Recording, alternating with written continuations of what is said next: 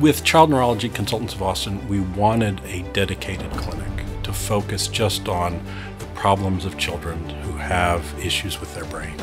We are providing a level of expertise that we think is very useful.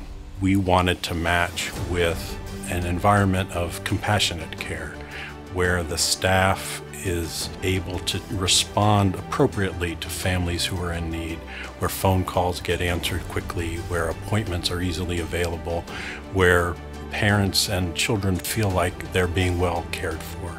We realize that having a child with a problem with their brain can be very scary. Some of these are very serious problems. But we have tried to create an atmosphere that is not intimidating for families, that is supportive, that is warm, that is encouraging, and that shows the hope that we have for our patients and that most of our patients are able to achieve.